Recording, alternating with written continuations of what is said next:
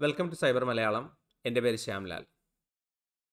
Reserve bank of ഇന്ത്യയുടെ പുതിയ ഒരു നിയമം നമ്മുടെ നാട്ടിലുള്ള ഓട്ടോമാറ്റിക് പേയ്മെന്റ് സിസ്റ്റങ്ങളെ എങ്ങനെ ബാധിക്കുന്നതിനെക്കുറിച്ചുള്ള ഒരു ചെറിയ ചർച്ചയാണ്. നിങ്ങളുടെ പല സേവനങ്ങളും ഓട്ടോമേറ്റഡ് ആയിട്ട് മന്ത്ലി പേയ്മെന്റ് ഓപ്ഷൻ കൊടുത്തിരിക്കുന്ന പലരും ഇതിനുള്ളിൽ ശ്രദ്ധിച്ചിട്ടുണ്ടാവുന്നൊരു കാര്യമുണ്ട്. നിങ്ങളുടെ പല പേയ്മെന്റുകളും ബാങ്കുകൾ നിരസിച്ചു തുടങ്ങിയിട്ടുണ്ട്. ഡിക്ലൈൻ മെസ്സേജുകൾ നമ്മളുടെ ഫോണുകളുടെ സ്ക്രീനിൽ വന്നു തുടങ്ങിയിട്ടുണ്ട്. ശരിക്കും ഈ ബാങ്കിങ് ഒക്കെ ടെക്നോളജി മേഖലയിലാണ് ഞാൻ വർക്ക് ചെയ്യുന്നെങ്കിലും ഈ ബാങ്കിങ് ഇതിന്റെ ഫിനാൻഷ്യൽ ആസ്പെക്റ്റുകളൊക്കെ അധികം ശ്രദ്ധിക്കാത്ത ഒരു വ്യക്തിയാണ് ഞാൻ. മാത്രമല്ല റിസർവ് ബാങ്കിന്റെ പേരിലും സ്റ്റേറ്റ് ബാങ്കിന്റെ പേരിലും ഒക്കെ ദിവസം ഓരോ മെസ്സേജുകൾ മിക്കവാറും മെസ്സേജുകൾ വ്യാജ സന്ദേശങ്ങളൊക്കെ വരുന്നതുകൊണ്ട് ഇടയ്ക്ക് ബാങ്കിന്റെ എന്ന് പറഞ്ഞ് വരുന്ന ജെനുവിനായ മെസ്സേജുകൾ പോലും മിസ് ചെയ്തു പോകുന്ന പല അവസ്ഥയുണ്ട് എനിക്ക് തോന്നുന്നു അതുപോലെ ഒരു സിറ്റുവേഷനിലാണ് ഇപ്പോൾ ഞാനും എന്നെ പോലുള്ള ഇഷ്ടം പോലെ കസ്റ്റമേഴ്സ് നിൽക്കുന്നത്. അപ്പോൾ അതുകൊണ്ട് ഒരു കസ്റ്റമറുടെ കാഴ്ചപ്പാടിൽ നിന്ന് റിസർവ് ബാങ്കിന്റെ പുതിയ നിയമം എങ്ങനെയാണ് ഈ ഓട്ടോമാറ്റിക് പേയ്മെന്റുകളെ ബാധിക്കുന്നത് എന്ന് സംസാരിക്കാമെന്ന് കരുതി. ഞാൻ ഇതൊന്ന് നോട്ട് ചെയ്തത് ഇന്ന് രാവിലെ എന്റെ മന്ത്ലി ഒരു റിക്കറിംഗ് ആയിട്ട് ഞാൻ ഓട്ടോമാറ്റിക് പേയ്മെന്റ് ചെയ്തിരുന്നൊരു സേവനം നിരസിക്കപ്പെട്ടപ്പോഴാണ്. എന്റെ സൂം അക്കൗണ്ടിന്റെ സൂം എന്ന വീഡിയോ കോൺഫറൻസിങ് ആപ്പിന്റെ മന്ത്ലി പേയ്മെന്റ് നിരസിക്കപ്പെട്ടു. അപ്പോൾ പല കാരണങ്ങൾ കൊണ്ട് നിരസിക്കപ്പെടാം ബാങ്ക് അക്കൗണ്ടിൽ കാശില്ലെങ്കിലും നിരസിക്കപ്പെടാം. എന്തായാലും അത്ര വലിയ തുകയല്ല സൂം മന്ത്ലി കളക്ട് ചെയ്യുന്നത്. അപ്പോൾ ബാങ്ക് അക്കൗണ്ടിലെ കാശില്ലാത്തതിന്റെ പേരിലാവില്ല നിരസിക്കപ്പെട്ടെന്നുള്ളത് കൊണ്ട് ഞാൻ നോക്കിയപ്പോൾ എനിക്ക് മനസ്സിലായി ആർ ബി ഐയുടെ പുതിയ നിയമപ്രകാരമാണ് നിരസിക്കപ്പെട്ടിരിക്കുന്നത്. അപ്പോൾ അതിന്റെ അർത്ഥം സൂം ഡോട്ട് യു എസ് എന്ന് പറയുന്ന വെബ്സൈറ്റിൽ ഞാൻ എന്റെ ക്രെഡിറ്റ് കാർഡ് ഇൻഫർമേഷൻ എന്റർ ചെയ്തിട്ടുണ്ട്. ഈ ക്രെഡിറ്റ് കാർഡ് ഇൻഫർമേഷൻ ശരിക്കും ഒ ടി പി പോലും ഇല്ലാതെ എന്റെ അക്കൗണ്ടിൽ നിന്ന് കാശ് നേരിട്ട് വലിച്ചെടുക്കാൻ സഹായിക്കുന്ന ഒരു സേവനമാണ്. നിങ്ങൾക്ക് അറിയാമായിരിക്കാം യു എസ് ബേസ്ഡ് ആയ മിക്ക സേവനങ്ങൾക്കും ഒ ടി പി ആവശ്യമില്ല. One time password system India ഗവൺമെന്റിന്റെ മാൻഡേറ്റിന്റെ ഭാഗമായിട്ടാണ് നമ്മളിപ്പോൾ ഇവിടെ ചെയ്തുകൊണ്ടിരിക്കുന്നത്. അപ്പോൾ ഇങ്ങനെ ഒ ടി പി ഇല്ലാതെ എന്റെ അക്കൗണ്ടിൽ നിന്ന് ഏതോ ഒരു ഡേറ്റാബേസിൽ നിന്ന് കാശ് പിൻവലിക്കുന്ന സിസ്റ്റം ഇനിയിപ്പോൾ അത്ര നല്ലതല്ലെന്നാണ് റിസർവ് ബാങ്ക് പറഞ്ഞിരിക്കുന്നത്. അപ്പോൾ അത് പ്രകാരം ഈ മാൻഡേറ്റ് എന്നറിയപ്പെടുന്ന ഒരു ഫോം വ്യക്തമായിട്ട് ഫില്ല് ചെയ്ത് കൊടുത്ത ബാങ്കുകളുമായിട്ട് മാത്രമേ ഇത്തരത്തിലുള്ള ഓട്ടോമാറ്റിക് ആയിട്ടുള്ള മണി ഡിഡക്ഷൻ സിസ്റ്റങ്ങൾ വർക്ക് ചെയ്യൂ എന്നൊരു പുതിയ നിയമം വന്നിട്ടുണ്ട്. അത് ഞാൻ അവെയർ അല്ലായിരുന്നു.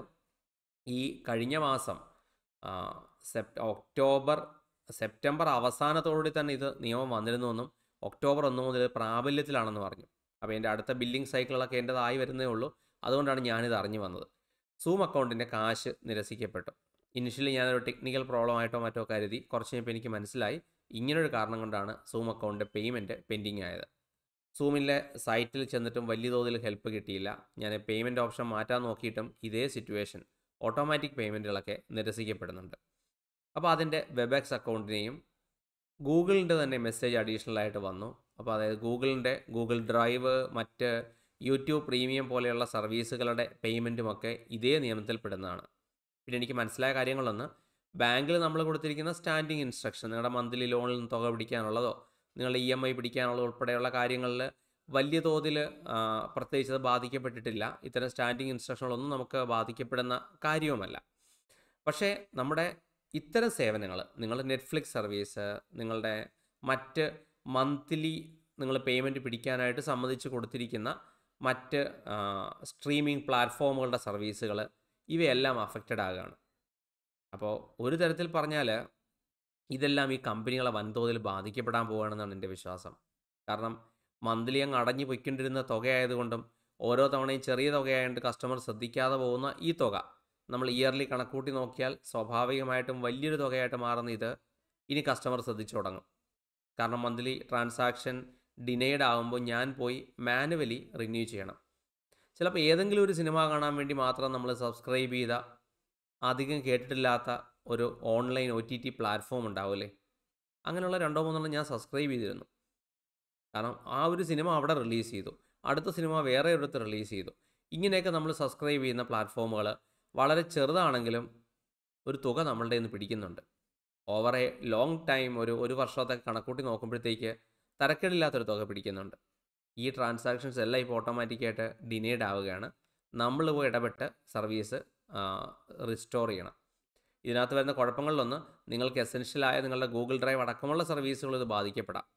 ശരിക്കും ബാങ്കുകളൊക്കെ ഇപ്പോൾ ചെയ്തിട്ടിരിക്കുന്നത് ഇതിന് ഒരു ഇ മാൻഡേറ്റ് എന്നൊരു സർവീസ് നടത്തിയിട്ട് ബിഹൈൻഡ് ദ സീൻ അയ്യായിരം രൂപയ്ക്ക് താഴെയുള്ള ട്രാൻസാക്ഷനിലൊക്കെ ഓട്ടോമാറ്റിക്കായിട്ട് പാസ്സാക്കി വിടാനുള്ള ശ്രമം ബാങ്കുകൾ നടത്തുന്നുണ്ട്. പക്ഷേ അതിന്റെ ടെക്നോളജി എനിക്ക് തോന്നുന്നു ഈ മാസം മിക്ക ബാങ്കുകൾക്കും ഫെയിൽ ആയിട്ടുണ്ടെന്ന് തോന്നുന്നു. അതുകൊണ്ട് നിങ്ങൾക്ക് എന്തെങ്കിലും ഒരു ട്രാൻസാക്ഷൻ ഫെയിലിയറുകൾ നിങ്ങളുടെ സർവീസുമായിട്ട് ബന്ധപ്പെട്ട് വന്നു കഴിഞ്ഞാൽ നിങ്ങൾ പരസ്യങ്ങൾ ഫേസ്ബുക്കിൽ വഴി കൊടുക്കുന്നുണ്ടെങ്കിൽ ഗൂഗിൾ വഴി കൊടുക്കുന്നുണ്ടെങ്കിൽ ഇവയ്ക്കൊക്കെ ആക്ച്വലി ഇപ്പോൾ ഇത്തവണ ഒരു തടസ്സം നേരിടാനുള്ള ചാൻസ് ഉണ്ട്. അപ്പോൾ അങ്ങനെ കണ്ടു കഴിഞ്ഞാൽ ഇനി വരുന്ന മെസ്സേജുകൾ തള്ളിക്കളയണ്ട. ഞാനിവിടെ ഈ ഡിക്ലൈൻഡ് മെസ്സേജുകൾ പലതും കണ്ടു. അല്ലെങ്കിൽ പുതിയ അപ്ഡേറ്റുകൾ വേണം ചെയ്യണമെന്നൊക്കെ പറയുന്നു. നമ്മളിപ്പോൾ വന്ന് വന്ന് എസ് എം എസ്സിൽ ഇത്തരത്തിലുള്ള മെസ്സേജുകൾ കണ്ടാൽ മൈൻഡ് ചെയ്യാത്തൊരവസ്ഥയിലേക്ക് ആയിട്ടുണ്ട്. സ്പാമിങ് അത്രത്തോളം ഉള്ളതുകൊണ്ടുകൂടെയാണ് എന്തായാലും അതുകൊണ്ടാണെന്ന് തോന്നുന്നു ഞാൻ മൈൻഡ് ചെയ്യാതിരുന്നത് ഇനിയിപ്പോൾ എന്തായാലും ഞാനത് മൈൻഡ് ചെയ്യുന്നുണ്ട് ഇനി ഓരോ സർവീസിലും പോയിട്ട് മാനുവലായിട്ട് എന്തൊക്കെ പ്രോസസ്സ് ചെയ്യണമെന്ന് നോക്കി അതെല്ലാം ഫിക്സ് ചെയ്യാനുണ്ട്. നിങ്ങൾ ആരെങ്കിലും ഇതേ ഘട്ടത്തിലൂടെ ഇതേ അവസ്ഥയിലൂടെ കടന്നു പോവുകയും എന്താ സംഭവിക്കുന്നത് മനസ്സിലാകുകയും ചെയ്യുന്നില്ലെങ്കിൽ അതിനുവേണ്ടി മാത്രം ഈ ഒരു ചെറിയ വീഡിയോ ആയിട്ട് ഇത് ചെയ്തതാണ്. അപ്പോൾ കമ്പ്യൂട്ടിംഗ് ഇൻഡസ്ട്രിയിലെ ചരിത്രമടക്കമുള്ള വിഷയങ്ങളുടെ ആഴത്തിലുള്ള വിഷയങ്ങൾ കവർ ചെയ്യുന്ന ഒരു ചാനൽ കൂടെയാണ് സൈബർ മലയാളം. ചാനൽ കാണുക സബ്സ്ക്രൈബ് ചെയ്യുക ചാനലിന്റെ ഭാഗമാകുക. അടുത്തൊരു വീഡിയോയുമായിട്ട് അടുത്ത ദിവസം കാണാം.